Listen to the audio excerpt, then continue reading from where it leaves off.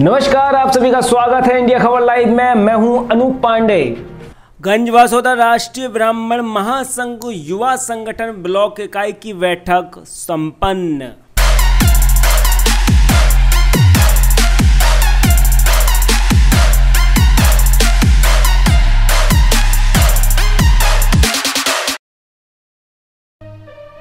गंजवासोदा राष्ट्रीय ब्राह्मण महासंघ युवा संगठन ब्लॉक इकाई की एक बैठक शिव शक्ति धाम मंदिर पर आयोजित की गई। इसमें पंडित मुकेश चतुर्वेदी, प्रदेश उपाध्यक्ष, संभाग प्रभारी, सागर जिला प्रभारी, विदिशा द्वारा नवनियुक्त पदाधिकारियों को हार फूलों से स्वागत कर नियुक्ति पत्र प्रदान किए गए, जिसमें पंडित राजीव शर्मा, जिला संगठन मंत्री Pandit L N Choubey, block प्रभारी पंडित उपेंद्र चतुर्वेदी, ब्लॉक अध्यक्ष व अन्य पदाधिकारियों को भी नियुक्ति पत्र प्रदान किए गए। बसौदा से एन चौबे की एक रिपोर्ट।